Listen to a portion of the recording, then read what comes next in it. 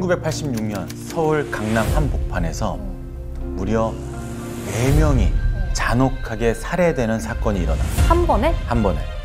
자, 광복절 전날 서울을 핏빛으로 물들였던 조폭들의 칼부림 사건입니다.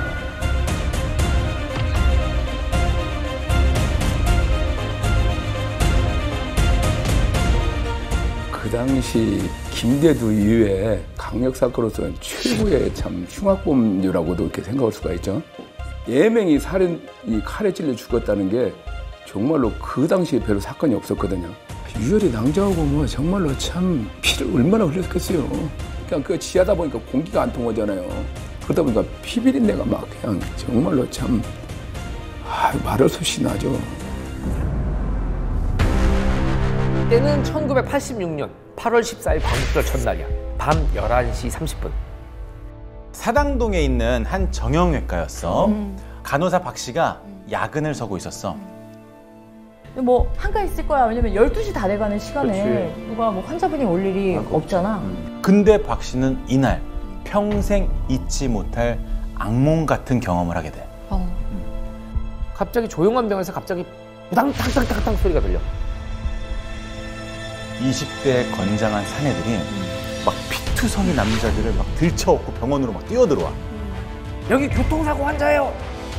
그러니 얻고 온 남자들을 내려놓고 막 우르르 갑자기 뛰어나가. 도망쳐.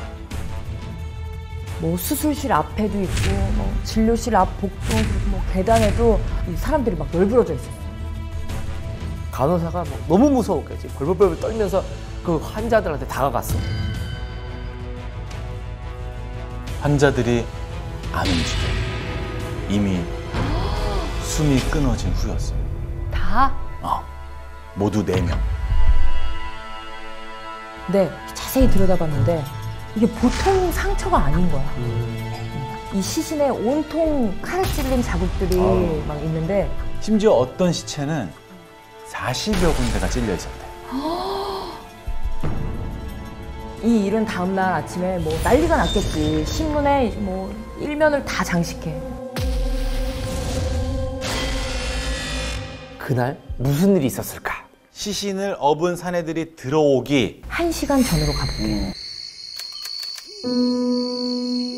강남 역삼동에 있는 서진회관 지하 1층. 최고급 룸살롱이야. 이 룸이 막 20개가 넘어. 당시 22살이었던 고금석은 이 서진회관 16호실에서 이렇게 술을 마시고 있었어. 맞은편 20호실에도 자기 일행들이 있어. 서진회관이 이들한테는 아지트 같은 곳이었어. 늘 거기서 노는 거야. 어떤 조직? 이 조직은 훗날에 서울 목포파라는 이름으로 불리게 됐어. 다들 목포에서 올라온 뭐 동네 또 학교 선후배 사이였대. 고향 선후배 사이인 거야.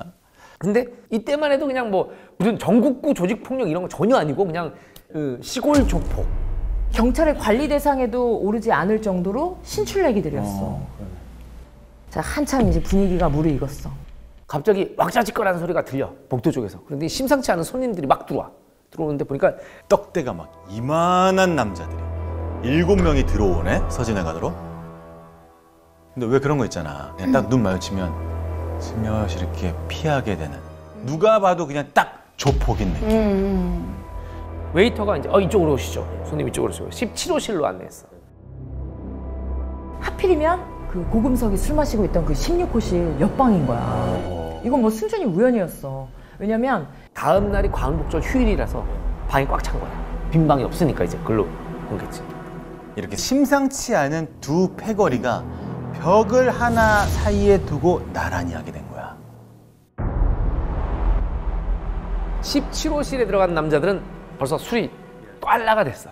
하나하나 다 거슬리기 시작한 거야. 방도 되게 좁아. 그리고 화장실 바로 옆방이야. 그 방밖에 안 남았었으니까. 그 중에 가장 덩치가 큰 사내가 웨이터를 불렀어. 이 방이 이게 뭐야? 저기 넓은 방 없어? 아, 오늘 손님이 많아서 빈 방이 없습니다. 그 순간 바로 웨이터의 얼굴을 주먹으로 팍 쳤어. 그랬더니 웨이터가 코피가 주르륵 났지. 네, 또 16호실에 또 호출이 왔지. 자, 16호실에 누가 있어? 고금석. 그치. 고금석을 포함한 서울 목포파 다섯 명 들어왔는데 표정이 안 좋아 웨이터가 야 뭐야 왜 울어 너 얼굴은 또 왜 그래 옆으실 손님들이 방이 마음에 안 든다고 그래서 막 울었어. 아 대체 어떤 놈들이야 어? 이제 웨이터 하는 말이 아, 보통 조직은 아닌 것 같다는 거야. 두목 같은 사람이 큰 형님한테 인사하러 간다고 나갔는데 언뜻 들어보니까 그 형님 이름이 김태촌 김태촌이라고 그랬어요. 조폭계의 전설이야.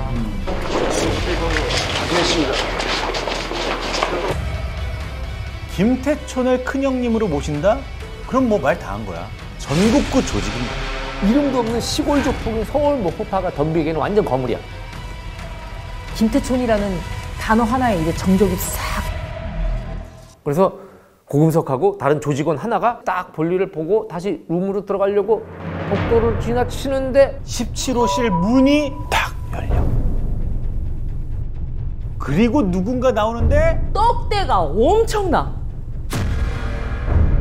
그게 바로 최두석이라는 사람이야. 최두석.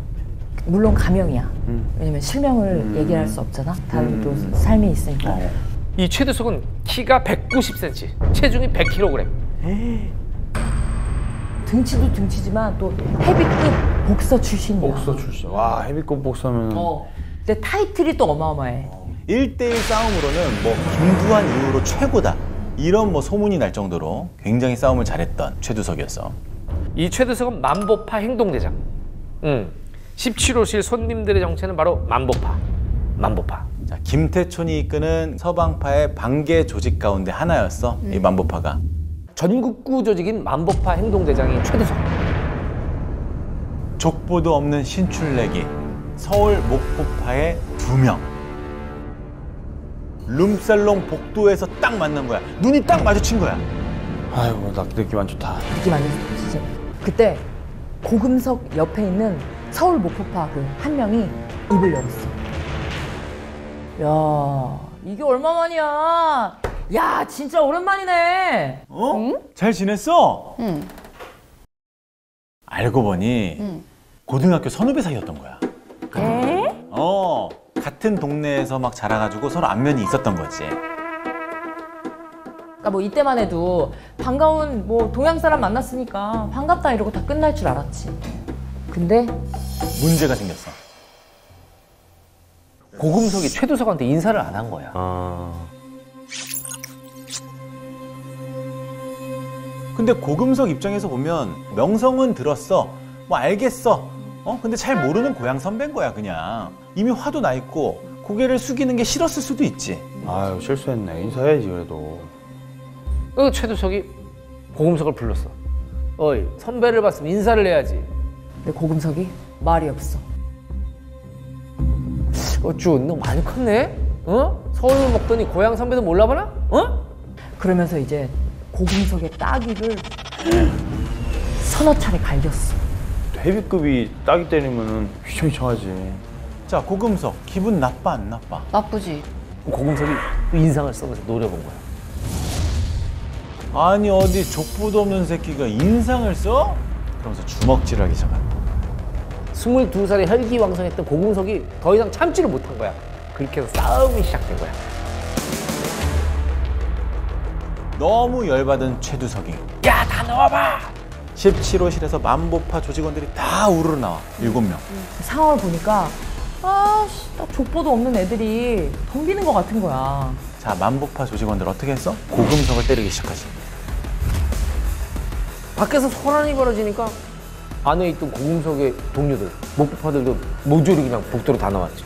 단순 시비로 끝날 수 있던 일이 이제 걷잡을 수 없게 커진 거지. 좁은 복도에 만보파, 목포파,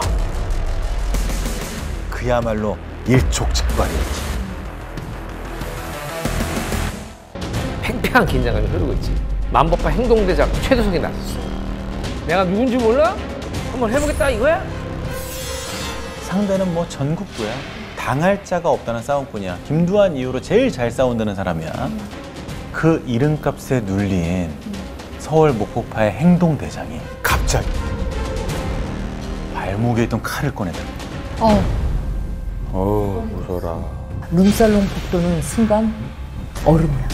과연 이 두 조직의 운명은 어떻게 됐을까? 근데 최두석은 눈 하나 깜짝 안 해. 나 최두석이야. 자신 있으면 찔러봐. 찔러봐 이렇게 된 거죠 설마 찌르겠어? 하는 생각도 있었겠지 어디 한번 찔러봐 이 새끼야. 그 누구도 핸들을 꺾지 않았어 아주 풀 악셀을 받고 서로에게 달려가고 있다 과연 어떻게 됐을까? 먼저 움직인 건 서울 목포파의 행동대장이야. 일단 최두석을 제낀다. 가장 껄끄러운 최두석부터 공격을 하기로 마음을 먹은 거야. 그리고 칼로 최두석의 팔을 팍 내리쳤어 그 다음 고금석이 그의 허벅지를 콕 찔렀어 팔 치고 찌르고 만보파 조직원들이 더 놀랐을 거 아니야. 진짜로 이놈들이 감히 어? 형님을 그렇게 할지 몰랐는데. 갑자기 그냥 사심이 들이대버리니까 방어할 틈도 없이 그냥 그냥 당해버린 거죠. 기습에 놀란 만보파 조직원들. 일단 부상당한 최두석을 끌고 막 화장실로 도망가. 또 몇몇 멤버들은 17호실로 들어가서 문을 잠궈. 룸살롱 복도는 막 순식간에 난리가 난 거야. 막 비명과 고함 소리. 트렁크에 있던 야구 방망이 칼 가져와서 무장을 해. 몇 명은 화장실로 쫓아가서 칼을 휘두르고 몇 명은 엽기를 가져와서 그 17호실의 잠근 문을 때려 부수기 시작해. 결국 17호실 문이 부서지고 그들의 칼부림은 역시나 멈추지 않았지.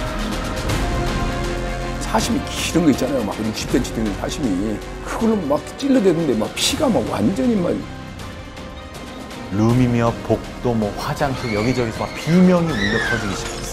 그야말로 아비규환이었던 거야.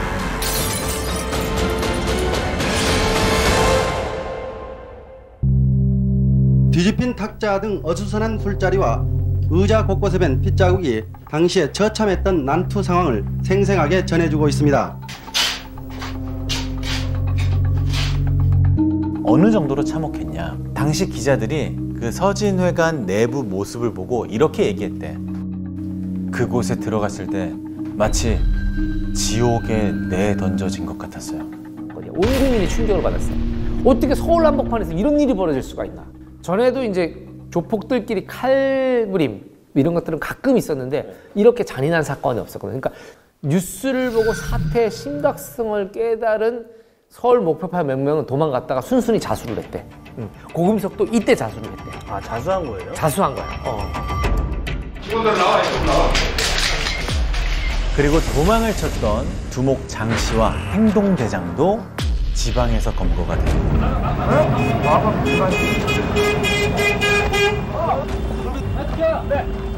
취재진이 막 엄청나게 몰려들었겠지.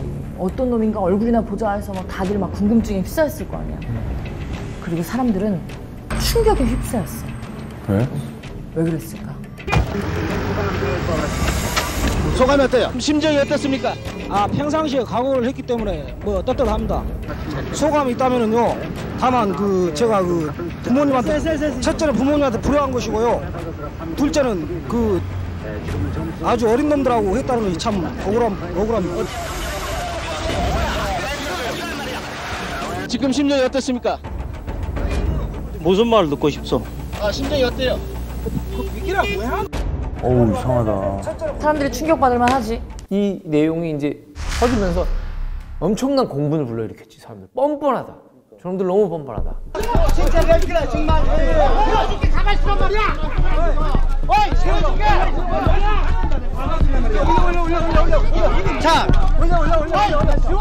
두목 장 씨는 25살, 행동대장 김 씨는 23살. 둘 다 20대 초중반 나이야, 기껏 해봤자. 응. 네 명의 목숨을 빼앗아 갔으면서도 일말의 죄의식이 없어. 어. 기자들은 이렇게 썼대. 10인의 살인 폭력배. 근데 사건 발생 보름 만에 열린 현장 검증에서 전혀 다른 모습으로 나타나. 이 사람들이. 앞쪽으로 당겨 앞쪽으로 아니야 좀 이따가 라이트 따면 안 돼. 있어요 라이트 너무 빨리 올라와 검거 당시와는 180도 뭔가 달라진 느낌이지 않아? 소감이 어때요? 다시 한 번 말씀해 주세요. 이렇게 엄청난 그 죄를 지은 데 대해서요. 여러 국민들과 유가족들에게 진심으로 사과드리고 앞으로 내려진 벌에 대해서 달게 받고 반성하겠습니다. 내내 고개를 숙이고 있었대. 그러게. 음. 조폭의 환상에 빠져가지고 객기를 부리다가 뒤늦게 현실을 깨달은 거야. 어. 대부분이 뭐 사형이나 무기징역을 선고받았고 고금속도 사형을 선고받은 게 음.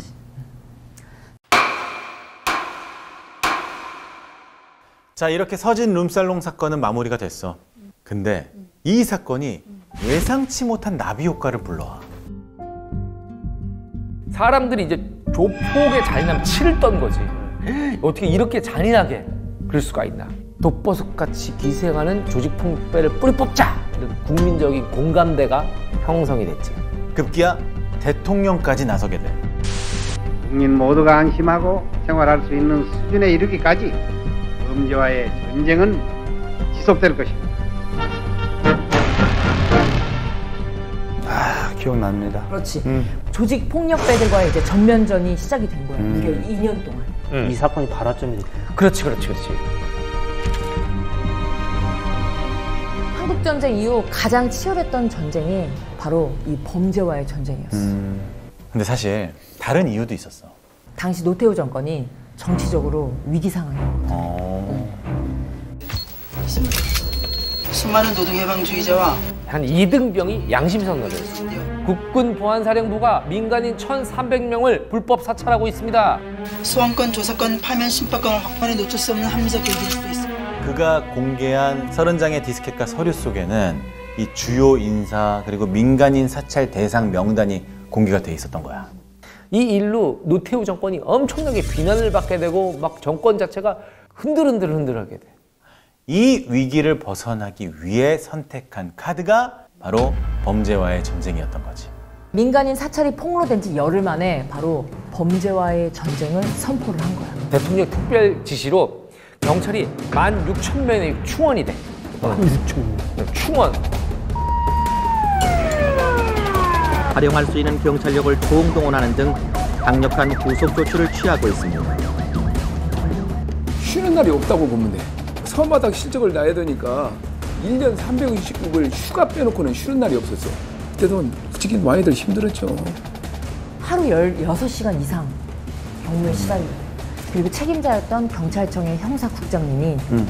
과로로 사망하셨어요. 어. 이때 순직한 경찰이 126명. 126명. 어. 어. 부상이 2,200명. 음. 진짜 전쟁이네. 진짜 전쟁이지. 그 결과 이제 조직폭력 때 270. 네 개 파가 소탕이 돼. 아 명이 아니라 파가 파가. 아. 어. 1,421명이 검거가 되고 1,086명이 구속이 돼. 자, 이 신출내기 조폭들이 저지른 서진 룸살롱 사건. 이게 아이러니컬하게도 80년대 전국구 조폭 시대를 끝낸 거야. 음. 아이러니하네. 아이러니하지. 아이러니했어. 어, 그러네. 어. 아이러니하지. 네. 쫓고 있는 그 남자. 암호명 KT. KT? 관련 기록만 수천 표기에 KT만을 기다려온 남자가 있었어. 바로 흑색 공작만 은밀하게 미행하고 도청하고 지금이야 조용히 안 하면 죽여버린다. 사람이 납치됐어요. 빨리 좀 와주세요. 답은 늘 현장에 있다. 경찰들이 깜짝 놀랐어. 완전 예상 밖에 있는 야구자? 북한 쪽이네. 이 사람들의 정체는 바로